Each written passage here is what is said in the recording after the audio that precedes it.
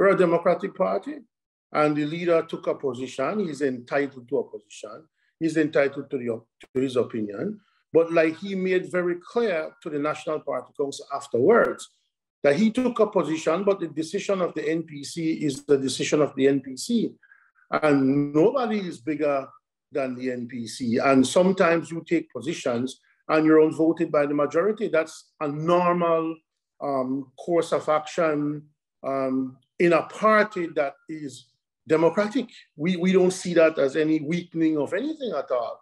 As a matter of fact, we see it as the strengthening of our processes and the way we do things. And democracy is, is messy at times. It's not the neatest of things at all. But the NPC had its say, and then now the people of Belmopan will have their say. We, we, we, we can't imagine a, better outcome than that. Whatever the NPC would have said, Mr. Saldivar made it clear, well, this is it. If the NPC says he can't run, he can't run.